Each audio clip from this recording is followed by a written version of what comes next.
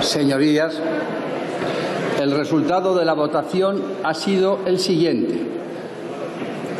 175 a favor de doña Merisel Batet Lamaña, 125 a favor de doña Ana María Pastor Julián, 35 votos en blanco, 15 votos nulos.